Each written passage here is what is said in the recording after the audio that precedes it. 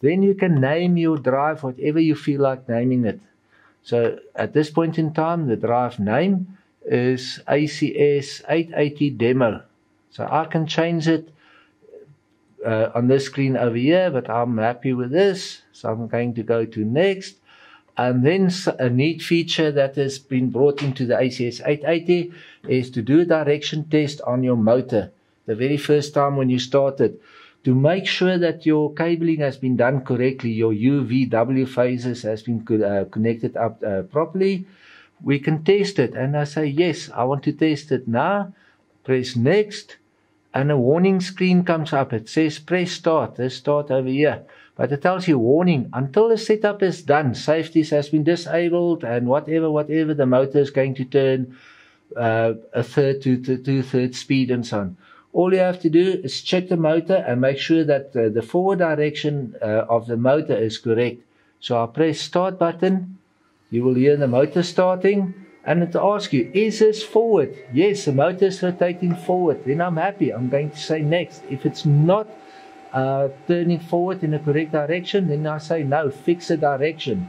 In my case, it's turning correctly, so I'm going to say next.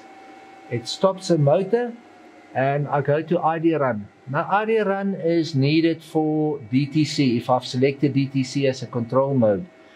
So which ID run to use? One of the later videos I will explain to you all the different ID runs. Just for now I'm going to use, because it's the quickest one, I'm going to use reduced ID run and I'm going to say next.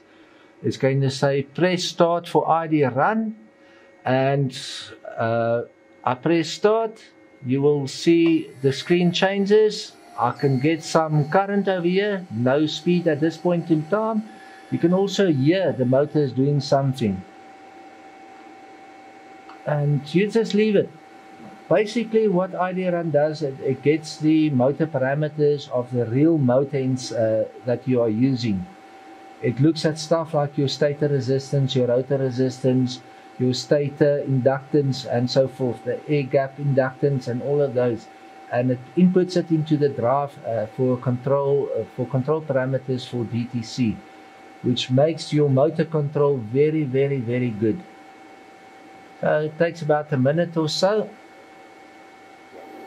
Okay, so you will see the whole time there is current changing, and at one point in time, you will see your motor is turning guys, while we're waiting for this to happen, um, I have to warn you. Of course, it's also written in a book, in a in a setup book.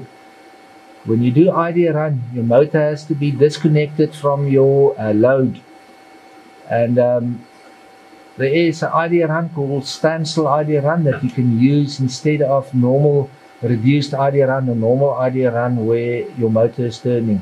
But it's good practice to have your motor disconnected at this point in time. So now you can see we've got some speed going through uh, the motor.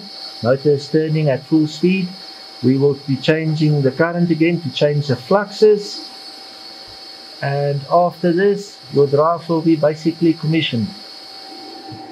Okay, so now ID run has been done and it comes up and asks you, want, do you want to make backups of your parameters that you have changed now?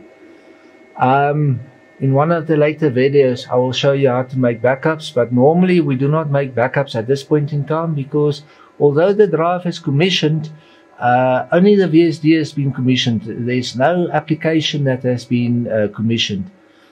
So let's just say not now and go to next and it says setup is complete. Your drive is now ready for use. I press done and I can go out to home screen, which is this. And if you look now, you see the green light is not flashing anymore. It means my drive has been commissioned. And if you don't want to believe me, before this, I couldn't start my VSD. Now if I press the start button, it will run up in speed to full speed reference or whatever reference I've uh, selected. I can stop it. Of course, only the basic uh, commissioning has been done. I have not changed any parameters such as acceleration, deceleration, mode of stop and so on. That is part of application commissioning, which will be one of the later lessons.